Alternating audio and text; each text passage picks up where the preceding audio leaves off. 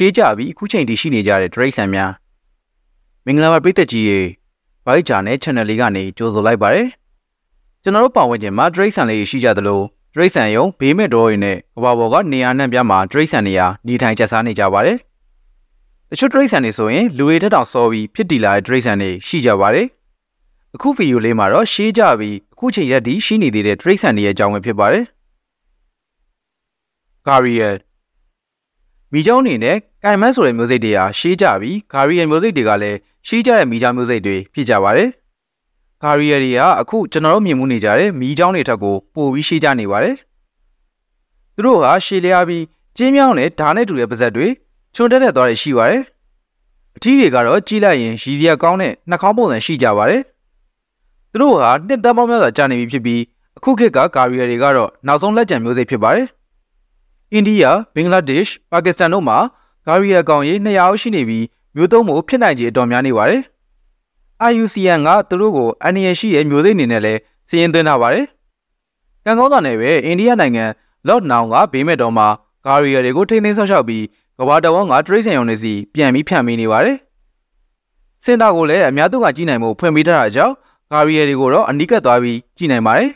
။နီဘောကချစ်ဝမ်အမျိုးသားဥယျာဉ်နဲ့ ဘာဒီယာမျိုးသားဥယျာဉ်မှာလည်းအကောင့်ရင်နှင်းငယ်ကိုထိန်းသိမ်းထားပါတယ်။ကိုမိုဒိုဒရာဂွန်ကိုမိုဒိုနဂါးတွေကိုယနေ့ခေတ်အင်ဒိုနီးရှားနိုင်ငံမှာတွေ့နိုင်ပေမဲ့သူတို့ရဲ့မူလပတ်ဖွားနေရတော့မဟုတ်ပါဘူး။သိပ္ပံပညာရှင်တွေဟာမကြသေးခင်ကဩစတြေးလျရှေ့ပိုင်းမှာကိုမိုဒိုနဂါးရုပ်ကျွင်းတွေကိုတွေ့ရှိခဲ့ပြီးလွန်ခဲ့တဲ့နှစ်ပေါင်း၄တန်းခန့်ကရုပ်ကျွင်းတွေလို့ခံမှန်းရပါတယ်။အဆိုပါအေယာမအိမ်မြောင်တွေဟာလူတစ်ယောက်၄ချိန်ထက်ပိုလေးကြပြီးလူသားတွေကိုလည်းတိုက်ခိုက်တတ်ပါတယ်။ လောသောတတဝါတွေဖြစ်ကြပြီးအစိတ်လဲပြင်းကြပါတယ်။အင်ဒိုနီးရှားမှာကိုမိုရိုမျိုးသားဥယျာဉ်ရှိပြီးစူးစူးဆန်းဆန်းဝါသနာပါသူတွေအတွက်တော့တောက်ရောက်လည်ပတ်တင်ပါတယ်။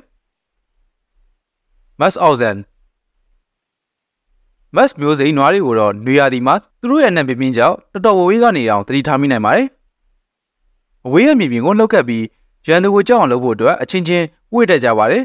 ။သူတို့ကအခုချိန်ထိရှိနေသေးပေမဲ့နှစ်ပေါင်း3,800,000ကနေ 3သိန်း2900ဝန်းကျင်တက်တန်းရှိပြီလို့ခန့်မှန်းထားကြပါတယ်။1930ခုနှစ်တွေမှာသူတို့ဟာပျောက်ကွယ်သွားခဲ့ကြပြီးမကြသေးမီနှစ်တွေကမှအလက်စကာမှာပြန်လည်ပေါ်ထွက်လာပါတယ်။အကောင်ကြီးထောင်ပေါင်းများစွာရှိနေသေးရလည်းဖြစ်ပါတယ်။သူတို့ကိုခက်ခက်ခဲရှာမှတွေ့ရပေမဲ့လည်းရှာတွေ့ဖို့ဖြစ်နိုင်ဆုံးကတော့အလက်စကာမြို့ကျူဒရာမြို့ငယ်လေးနီးမှာနေလေကျက်စားလေးရှိပါတယ်။သုံးမွေးတွေရောင်းတယ်လို့ပဲဒီနွားတွေအမွေးတွေကိုလည်းသုံးမွေးလိုချုပ်ပြီးအဝတ်တွေပြုတ်လုပ်ကြပါတယ်။ဘာဘီရူဇာ ဒီကောင်တွေကတော့စိတ်တို့လွယ်တဲ့ဝက်တွေနဲ့တူပါတယ်နှာခေါင်းတွေကနေအပေါ်ဘက်ကိုကော့လန်ပြီးပေါက်နေတဲ့အဆွဲရှည်တွေရှိကြပါတယ်ဒီဆွဲတွေကနှစ်ဖူးကိုတောင်ထိုးပေါက်နိုင်ကြပါတယ်ခန္ဓာကိုယ်ပိုင်းကတော့အော့ဆိုတဲ့ဝက်မျိုးစိမ့်နဲ့ဆင်တူပါတယ်ဘာဘီရီဇာတွေဟာလွန်ခဲ့တဲ့နှစ်ပေါင်း3000ဝက်ကလိုင်ကိုတွေမှာစတင်နေထိုင်ကျဆခဲ့တဲ့အကောင်တွေပါယနေ့မှာတော့အင်ဒိုနီးရှားနန်တူတစ်တော်နဲ့တန်ကိုကိုတဘာဝဘေးမဲ့တော်တို့မှာခီးတော်ရဲ့ကြီးစုနိုင်အောင်စီစဉ်ထားရှိပါတယ် Oregon Shed အပူပိုင်းပစိဖိတ်ဒေသတွေမှာဒီငမန်းတွေကိုတွေ့နိုင်ပါတယ်။တကယ်တော့ဒီတတဝါတွေဟာရင်းနှီးဖုံးနေတဲ့ကြောက်တုံးတွေနဲ့ရောနှောဖို့သူတို့ရဲ့ခြေကုန်တွေကိုအသုံးပြုကြပါတယ်။လွန်ခဲ့တဲ့နှစ်ပေါင်း17တန်းလောက်ကလေးကဒီမျိုးစိတ်တွေဟာရှိနေကြတာဖြစ်ပြီးတာမန်ငမန်းတွေထက်စာရင်တော့လူတွေကိုအနေပြုနိုင်ခြေနေရပါတယ်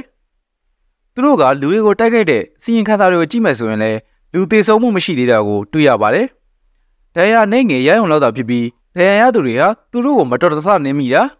ရေငုံနေစဉ်မှာအလွန်နီးကပ်သွားတာတွေကြောင့်ဖြစ်ပါတယ်။ဩစတြေးလျစစ်နေမှာရှိတဲ့အန်နာဝါပြလိုက်မှာဒီကောင်တွေကိုပြသထားပါတယ်။တူတာရာသူတို့ဟာလစ်ဇက်တွေနဲ့ဆင်တူဝင်မဲ့လေလစ်ဇက်တွေမဟုတ်ပဲတသက်မျိုးခွဲတွေသာဖြစ်ပါတယ်။လွန်ခဲ့တဲ့နှစ်ပေါင်း225တန်းလောက်ကတည်းကဒိုင်နိုဆောတွေနဲ့တစ်ချိန်တည်းရှိခဲ့တာလို့ယူဆရပါတယ်။သူတို့တွေ့လိုက်မိုးတော်တော်ခက်ခဲပြီး အရွယ်ရောက်ပြီးတဲ့ကောင်တွေမှာအကြီးကွန်ပြည့်နဲ့သူတို့ရဲ့ဦးအောင်ထိတ်မှာတတိယမျက်လုံးပါရှိပါတယ်။သူတို့မှာအလင်းအယောင်ခံတဲ့စနစ်လည်းပါပြီးဒီစနစ်ဟာရှေးခေတ်ကောင်တွေမှာသာပါတဲ့စနစ်မျိုးဖြစ်တယ်လို့သိပ္ပံပညာရှင်တွေကဆိုပါတယ်။ယနေ့ခေတ်တွားသောတတဝါရေလို့နားကအပြင်ဘက်မှာမရှိပေမဲ့လည်းအတန်ကိုကောင်းကောင်းကြားနိုင်ပါတယ်။ဒါကရေရောက်မှာငါးတွေအတန်ကိုကြားရတဲ့ပုံမျိုးနဲ့ဆင်တူပါတယ်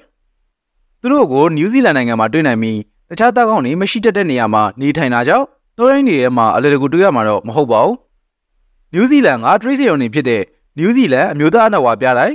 ဝယ်လင်တန်ကဇီလန်ဒီယာတရိတ်ဆန်ယုံတွေမှာတွေ့နိုင်ပါတယ် Chinese Giant Salamander နှစ်သက်မောင်190တက်တန်းရှိပြီဖြစ်တဲ့တရုတ်အေယာမှာဆလမန်ဒါ